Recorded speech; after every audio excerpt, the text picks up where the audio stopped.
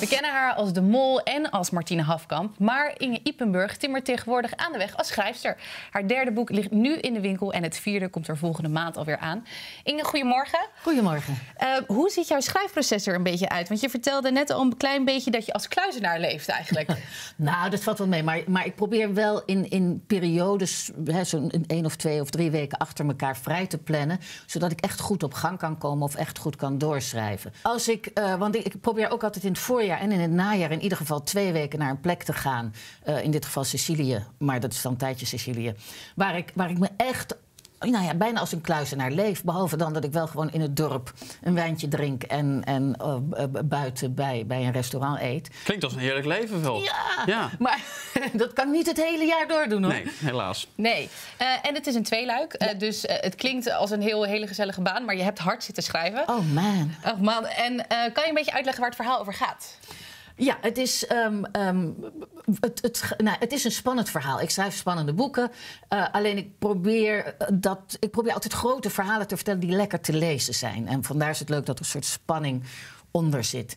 Er wordt een, een Nederlands meisje gevonden, dood op het strand... terwijl moordenaarstorm de uh, Sirocco waait. En dan is het s'nachts 42 graden en het stormt, hele rare atmosfeer. Dat meisje wordt gevonden door een Nederlandse vrouw die daar woont. En eigenlijk is die vrouw ochtends vroeg op de plek waar dat dode meisje gevonden wordt. Um, maar goed, in ieder geval is de inspecteur uit alle andere boeken, Wil Herema, toevallig op vakantie in dat dorp. En hij is dolgelukkig dat er een moord gepleegd is, blijkbaar, of een dood meisje. Ja, want jij laat je personages terugkomen, want ja. die komt ook voort uit jouw eerste boek, Wil. Ja, terwijl het is niet een Wil Herema verhaal, en dat is het nooit. Maar ik heb hem ooit verzonnen als inspecteur. En bij het tweede boek dacht ik, nou ja, ik heb een inspecteur nodig, waarom die man niet?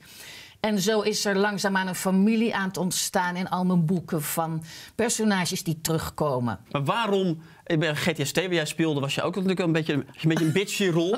nu is het ook weer dood en verderf. Wat, ja. wat is dat toch in jou? Ja, nou waarschijnlijk omdat ik zelf zo'n zoetertje ben, denk ik. Ja, nee, maar het is een soort fascinatie toch wel. Je zou ook kinderboeken kunnen schrijven. Nou ja, kijk, bij GTST is een soort weird ja, kinderboekach. Nou ja, dat is wel niks mis mee. Hartstikke nee, mooi. hartstikke niks mis mee. Maar ik heb geen kinderen. En Nee, schrijf, schrijf wat je kent. Hè? Ja.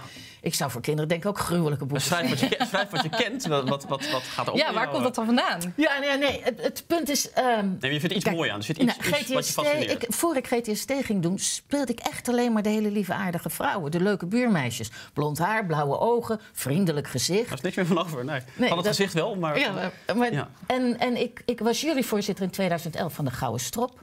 Toen las ik heel veel crime. En ik heb sowieso altijd een extreem rijke fantasie. Maar dat ging ineens een andere kant op. Ik merkte dat als ik op een straathoek een groepje mensen zag praten... dat ik dacht, oh, zouden ze een moord beramen? En als ik ergens liep, dacht ik, ah, daar kan je best wel goed een auto het water in rijden.